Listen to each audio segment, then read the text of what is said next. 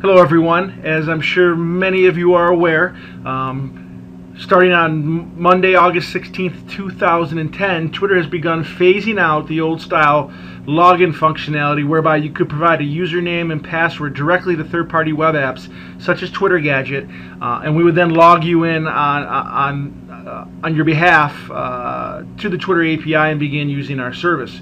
Um, Twitter is deemed that insecure. People have discussed, you know, the issue of having to divulge their username pass to third-party apps. So, in its place, Twitter has implemented what is commonly known of as OAuth. And what OAuth does is allows third-party web applications to, you know, view your timeline and tweet on your behalf and so on and so forth. Um, by having you authorize those applications and, th- and by authorizing those applications with the sign in with Twitter button, you never have to provide a username and password directly to third party apps. The username and password and the auth- authorization process is handled directly at the twitter.com domain. So you can see I just clicked that sign in the Twitter button um, that is now on Twitter Gadget and you can see we're taking over to, to the twitter.com domain. When you come to the twitter.com domain, you can then log in um, and authorize that particular app. I've already authorized in this instance, so you don't see me clicking the approve button. But authorize that particular app. We set the necessary tokens as a cookie, allow allow you to stay logged into Twitter Gadget either for the duration of your session or if you click Remember Me for up to up to a week. That's all great and, and works wonderfully for those who have access to the Twitter domain in order to click the sign in with Twitter button uh, to begin that authorization process. Um, and while we recognize uh, that certainly we feel Twitter Gadget is, is, is full of uh, has a full and robust feature set packed into a, a nice and tight comp- compact space, be it iGoogle or Gmail, uh, or even standalone for that matter. Um, while we recognize there's lots of benefits to Twitter Gadget, one of the pr- primary benefits or additional benefits that you gained with Twitter Gadget is if uh, the twitter.com domain, for example, happens to be blocked or inaccess- inaccessible uh, at your current location, be it at work, at school, or whatever it might be, it's problematic now to use Twitter Gadget, unfortunately, in any third party application uh, because that process requires you, uh, in all instances, as, as, as shown, to visit the twitter.com domain to begin that authorization process. Again, by forcing all third-party apps to move to this uh, OAuth sign in with Twitter functionality precludes a lot of you who had used Twitter Gadget in the past from using it now. And so we began investigating and trying to figure out some ways that we could, even though we've been forced to move to this process, still enable those users to, to access Twitter Gadget uh, when at locations where access to Twitter.com is restricted and thus you have no ability to log in uh, using the sign with Twitter button. So what we've come up with is a process that we're now calling sign in with Twitter Gadget. So you can see here on the Twitter Gadget page, login page, you see a sign in with Twitter button. As you know, you're at a location where you can't use that button. Uh, what we allow you to do now instead is click the sign in with Twitter gadget button. So here you can see it says can't sign in with Twitter. Obviously you try this button above and it didn't work. Um, so you go ahead and say can't sign in with Twitter. Click here, sign in with your Twitter gadget account. If you go ahead and click that button, we take you to a new pop-up dialog box um, where you'll see a login screen and some, and some information. And let's go over a little bit of that information real quick before uh, uh, we actually execute the process.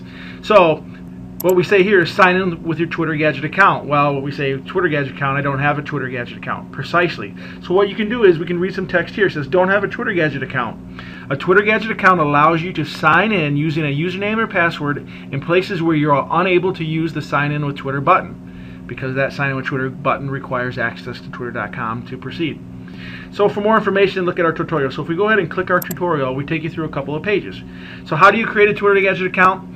Well, what happens is, is, is ultimately you always have to visit twitter.com at least once in order to authorize our application. Without the ability to authorize our application by visiting twitter.com at least once, you're dead in the water. We have to be able to have you go to Twitter and authorize our Twitter Gadget application. So what you do, step one, You can see a little example here. It says home sweet home. What we mean by that is step one, using a Twitter accessible computer. So obviously you can access, for example, Twitter at work or at school, wherever it might be, Firewall or WebSense. So the first step is, is to go somewhere where you can access Twitter. And again, that might be at home, via your mobile smartphone, wherever it might be. Go to that place, come to Twitter Gadget, um, and uh, execute the sign in with Twitter process. So again, come to Twitter Gadget, use a Twitter account that's accessible. Go ahead, come to our page, and you see that sign in with Twitter button that we discussed or showed earlier. Again, right here, sign in with Twitter. So now you're at a you're at a location where you can click that button. You go ahead and click it, and you're going to be taken to the authorization page where you sign in with Twitter. And by signing in with Twitter, uh, you'll be able to grant access to Twitter Gadget uh, to again uh, use our service on your behalf. So log into Twitter Gadget using the sign in Twitter button. Step three. Once you sign in, you can then go to Twitter Gadget um, uh, during that session um, and actually create a Twitter Gadget account. So you see it here on this page, and, and I'll actually go through it live in a second. So step four, once that's done, you can now come back to Twitter Gadget, and instead of using that sign in with Twitter button, uh, you can use the sign in with Twitter Gadget button instead. Uh, so let's see that in action. Uh, we come here, sign in with Twitter. Again, I'm already logged into Twitter, so I immediately get redirected. I'm already logged in as our account T-Gadget. You can see behind the scenes we close that dialog box and now we're logged in as T-Gadget. So now this is an example of, uh, of say I'm at home and I'm not at work where I'm restricted access, where I have restricted access. So now once I've logged in, I need to immediately set up a Twitter Gadget account. So if you go ahead and beneath, beneath the tweet input box in the bottom right, you, you know we have the options arrow. Go ahead and click that options arrow and there's a new option labeled account and you can see the dialog box that pops up underneath that or the title box that pops up underneath says create slash modify Twitter gadget, Twitter gadget account and now we have a new dialog box that says create a Twitter Gadget account. We're automatically going to create the username of that account as your Twitter username for the sake of ease. Now the password optimally should be different than your Twitter password because otherwise now you're divulging to us your username and password on Twitter and that's the whole point of sign in with Twitter is, is not have to divulge that information to Twitter Gadget. You can certainly elect to do whatever you wish but it's recommended for security purposes to create a new uh, password unique to your Twitter Gadget account. So you go ahead and create that account. And now we have a Twitter Gadget account in addition to your Twitter account. But what has happened here is, in, by virtue of creating this Twitter Gadget account, we've made a database entry on our servers on your behalf with your username and Twitter Gadget password you've just created, as well as those access tokens and keys that Twitter supplied us during the sign in with Twitter process.